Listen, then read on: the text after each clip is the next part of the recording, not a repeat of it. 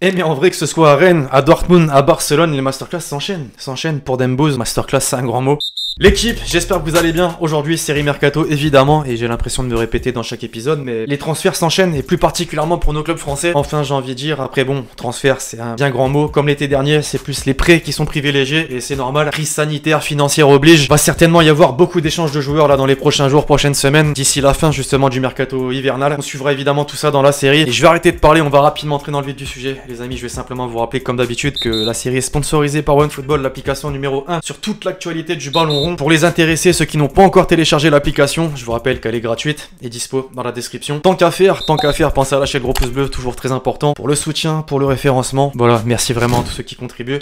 On entre dans le vif du sujet, désormais l'équipe en France pour commencer aujourd'hui avec l'Olympique de Marseille. Ça touche enfin au but, les amis, pour le numéro 9 tant recherché. Selon RMC Sport, un accord de principe a été trouvé entre Milik et l'OM sur les termes d'un contrat. La Gazzetta dello Sport évoque un salaire de 3,5 millions d'euros annuels pour un contrat d'une durée de 4 ans. Concernant le montant du transfert, le journal mentionne une offre de 7 millions d'euros plus 2 de bonus. Pour le petit rappel, Naples réclame pas moins de 10 millions d'euros pour son joueur. Pablo Longoria et ses équipes négocient donc pleinement pour trouver un terrain d'entente et boucler l'opération rapidement. Alors le dénouement est proche, bien sûr, bien sûr, c'est pas encore fait, mais Marseillais tout de même, vous pensez que c'est le bon choix Qu'il peut assurer pleinement son rôle et s'imposer à l'OM Dites-moi un peu dans les commentaires. Au passage, dernièrement, vous le savez, les profils s'étaient multipliés parmi les rumeurs d'arriver au même poste. Abel Ruiz de Braga, William José de la Real Sociedad et même Diego Costa qui a été libéré de son contrat par l'Atlético. Diego Costa, effectivement, voulait rallier Marseille. Villas-Boas l'a même confirmé en conf. Je cite La première chose, c'est qu'il touche 16 millions par an hors taxe. J'ai reçu un message WhatsApp d'un numéro que je ne connaissais pas qui me disait que Diego Costa voulait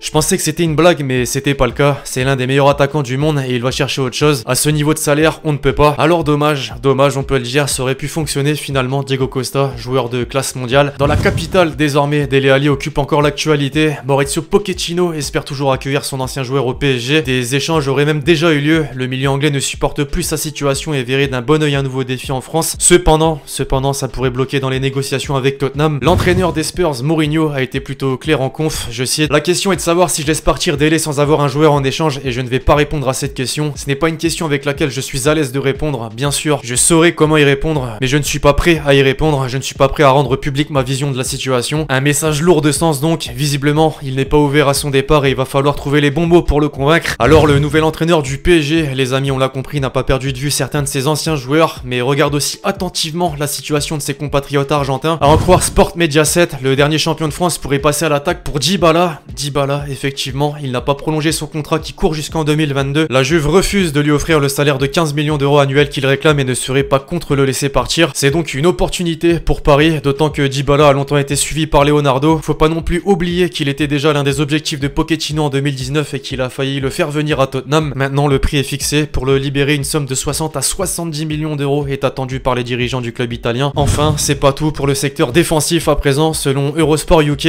Upamecano intéresserait grandement la direction parisienne. Le PSG rejoint donc les nombreux courtisans, parmi eux Liverpool, Chelsea ou encore le Bayern. Pour le petit rappel, l'international français possédera en juin prochain une clause libératoire de 42 millions d'euros. Toujours en France, quelques joueurs se sont révélés lors de la première partie de saison en Ligue 1 et visiblement, c'est pas passé inaperçu. Loïc Badet de Lens, par exemple, en 6 mois, il a déjà mis tout le monde d'accord, mais Lensois en sont d'ailleurs témoins. Le jeune défenseur de 19 ans intéresse certains clubs du championnat, le Stade Rennais et l'Olympique Lyonnais entre autres, mais aussi à l'étranger. Parmi la liste, Leeds, Mönchengladbach, l'AC Milan ou encore l'Atalanta. Ensuite, Boulaïdia, il inscrit but sur but avec le Stade de Reims. Là encore, ça se bouscule entre plusieurs clubs, dont West Ham qui cherche un nouvel attaquant après le départ d'Aller à l'Ajax. Les Hammers en ont même fait une priorité et seraient sur le point de formuler une offre de 10 millions d'euros. Enfin, Mohamed Simakan, évidemment, on avait déjà parlé de lui, le défenseur va quitter Strasbourg cet hiver. L'AC Milan semblait avoir une longueur d'avance dans le dossier, mais c'est finalement Leipzig qui devrait avoir le dernier mot. À en croire Téléfoot, il aurait d'ores et déjà donné son accord au dernier demi-finaliste de la Ligue des Champions. On évoque un transfert puis un prêt du joueur à Strasbourg jusqu'à la fin de la saison. C'est donc clairement un échec pour les Rouges et Noirs qui n'ont pour autant, pour autant pas abandonné l'idée de se renforcer dans ce secteur. D'après Sky Italia, les discussions s'accélèrent avec Chelsea pour le prêt de Fikayo Tomori. Les Blues ne seraient pas contre l'idée d'inclure une option d'achat de 30 millions d'euros pour le défenseur anglais de 23 ans, mais les dirigeants du club lombard travaillent aussi activement pour trouver une doublure d'Ibra, d'autant que le Z arrivera à la fin de son contrat en juin. Les quotidiens italiens mettent en avant deux noms ces derniers jours, Pavoletti de Cagliari et Mandzukic. Mandzukic, effectivement, sans club depuis son départ du Qatar. Concernant la piste du milieu de terrain, justement, c'est officiel. Soalio Meite quitte le Torino pour l'AC Milan. L'ancien Lillois débarque sous la forme d'un prix avec une option d'achat fixée à 10 millions d'euros. Après avoir annoncé l'arrivée de Stroutman dans la foulée, le Genoa a obtenu le prêt du défenseur central du Red Bull Salzbourg, Jérôme Ouguené. A noter que l'opération possède une option d'achat de 5 millions d'euros. Des nouvelles d'Achim Mastour, une nouvelle fois transféré à l'âge de 22 ans. Il quitte le club de Regina en série B pour rejoindre sous la forme d'un prêt le club de Carpi en série C. C'est donc le sixième club de sa carrière. En échec au Real Madrid, Luka Jovic effectue son grand retour à Francfort. Il est prêté jusqu'à la fin de la saison. Le Bayer Leverkusen a enregistré l'arrivée de Fosu Mensa. L'arrière droit s'est engagé jusqu'en 2024. Manchester United récupère 1,7 million d'euros dans l'opération. On en parlait justement dans le dernier épisode de la série. Islam Slimani a bel et bien rejoint l'Olympique lyonnais. L'attaquant algérien s'est engagé pour une durée de 18 mois et remplace donc et remplace donc un certain Moussa Dembélé qui lui rallie l'Espagne et l'Atlético Madrid jusqu'à la fin de la saison sous la forme d'un prêt. A noter là aussi que l'opération comprend une option d'achat fixée aux alentours des 35 millions d'euros. C'était dans les tuyaux, les amis, et c'est désormais officiel. Stéphane Ruffier met un terme à sa carrière. Pour autant, l'ancien gardien des Verts rebondit en tant qu'éducateur à l'Aviron Bayonnais FC. Bonne nouvelle pour le milieu de terrain de Valenciennes, les Nordistes ont officialisé la signature de l'expérimenté Jaba Kankava, international géorgien et ancien joueur du stade de Reims entre 2015 et 2017. Lucas Piazzon quitte enfin et définitivement Chelsea pour rallier le Portugal et plus particulièrement le Sporting Club de Braga. Le milieu offensif brésilien s'est engagé jusqu'en 2025. L'AC Milan se renforce et compte se renforcer cet hiver, mais compte également dégraisser. Le club italien a annoncé le prêt de Léo Duarte, qui va donc tenter de se relancer dans le championnat turc et plus particulièrement du côté d'Istanbul Basak GR. Enfin, Pablo Castro et les Girondins de Bordeaux, c'est terminé. Le Lokomotiv Moscou a officialisé l'arrivée du Brésilien pour les trois prochaines saisons. À l'âge de 29 ans, il va donc découvrir le championnat russe, mais aussi retrouver d'anciens du championnat de France, Krikoviak, mais aussi et surtout Kamano qui l'a côtoyé en Gironde. Bref, voilà l'équipe, c'est tout pour l'épisode mercato du jour. J'espère que vous l'avez kiffé, je compte sur vous si c'est le cas pour lâcher le gros pouce bleu. Donnez-moi vos avis dans les commentaires sur toutes les rumeurs et officialisations qu'on a pu citer dans cette vidéo. Puis d'ici là, on se retrouve très vite sur la chaîne pour de nouvelles vidéos. C'était Lexti.